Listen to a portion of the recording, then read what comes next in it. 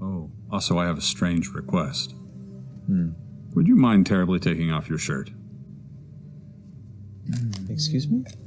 Well, what's the word? Uh, gotten a bit paranoid, and I'd like to make sure that there's the correct number of eyeballs in this room, if you know what I mean.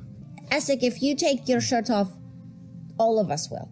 So you feel so- safe and comfortable. I'll help that by taking off my glove, showing the back of my hand. I've already taken off my shirt. no! Essek is very like. No! if it puts you at ease and you watch as he kind of unsnaps some of the fasteners for his mantle and He's got just like Sets a it Ripley stripper outfit that's just like. Dunamancy! Sparkling stars. Janie's got a gun. Giant chest tattoo. Full on killer kills it. I love it. Um, I, I appreciate that. We're, of course, I we all appreciate that, Essek. this is a thing we're learning to do every day.